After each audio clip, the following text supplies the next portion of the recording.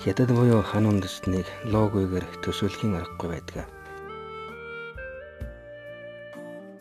Бээжин хотын баруун өмнөх Фаншан дүүрэгт орших Чинлүн хүү буюу Хөхлөөгийн хотоос 28 км-ийн зайд Хурдны замын хажууханд байдаг бол Бээжин хотоос хамгийн ор байдаг үзэмжит нууруудын дотроо хамгийн том нь Чинлүн хүү нуур байж Бээжингийн Ихэйэн, Юйэн тан, Бэхэ хийгээд Зуннанхай зэрэг цогцол бүрийн нуур усыг нийлүүлсэнтэй тэнцдэг байна.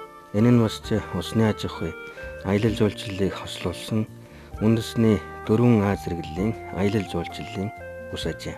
Эрдний өвөлдөгдөл сонин хачин зүйлсийн тухай тэмдэглэн үлдээсэн Нанвэцэ буюу Хятадын эртний өмнөдсөн улсын үеийн шаштрт тус Чинлүн хүн нуурын нэрийн эрэлтийн тухай өгүүлсэн байдаг.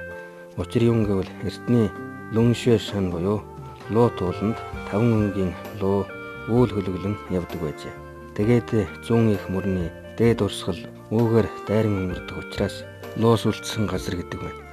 Та бүхэнд харуулan байна хүү Чинлүн хүү нуур нь дээрэгүүлсэн Лүншэ шан буюу луу туулсан үргэлжлэлийн толгойн хэсэгт байрлаж нуурын хэлбэр луугийн дүрстэй байдаг ба ус нь хөхнөгөө өнгөтэй байдаг учраас Чинлүн хүү буюу хөхлөөгийн нуур хэмээн алдарсан байна.